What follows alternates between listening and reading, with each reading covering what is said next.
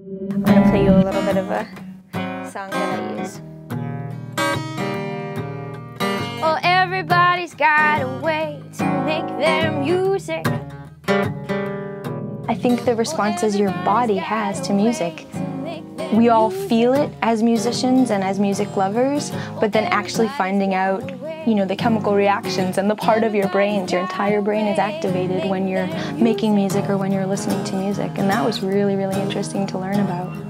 Music therapy as a career basically gives you the opportunity to do something you love, but to put it to a use that you can actually see in action. Um, and because it's such a growing field, there are a lot of opportunities to find work as a music therapist. I think if you're interested in pursuing music therapy, you better practice your instruments.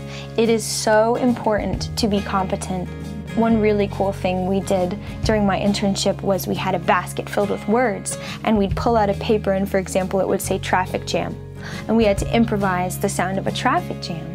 Because let's say someone comes into the room and they're screaming and hollering and their arms are flailing and you can't just sit there and play like a pretty little lullaby.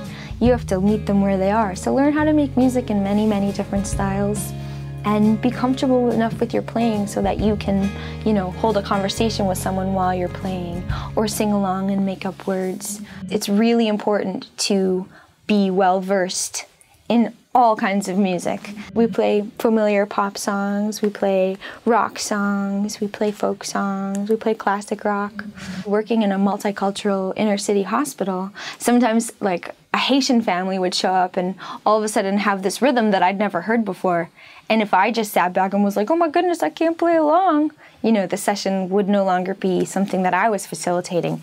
So I was thrown into the moment and had to follow along and learn the rhythms. So I learned a lot about, you know, R&B rhythms and rap and jazz and Caribbean music and Latin music.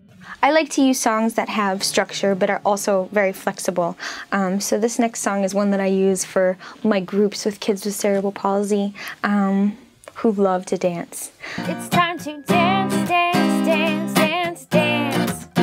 It's time to dance. I can just think of every single person I've worked with and the way their face changes when they see the guitar, when they hear that first chord you know, somebody who never makes a sound and all of a sudden they hear you singing and they sing along. I've seen kids say their first word. I've seen somebody who just needed to cry, cry. And it's amazing what music does to move you in so many new directions.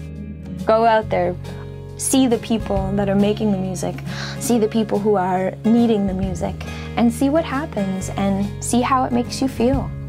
Think about if you could see yourself in the shoes of the therapist making that music with those people. I'm a music therapist for children with special needs primarily, and I'm also a singer-songwriter and a Berklee alum.